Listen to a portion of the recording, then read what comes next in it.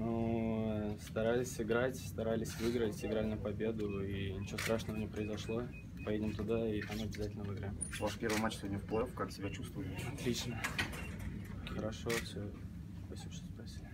Кирилл показалось, что авангард сегодня был посвежее. Это действительно так?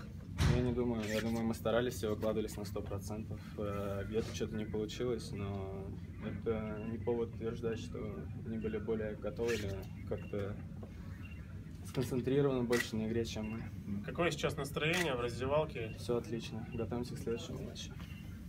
Успеет команда восстановиться? Да. Во втором периоде вы 8 минут подряд сейчас все играли, что не получилось. Но Просто шайба не шла в ворота, все старались, еще раз говорю.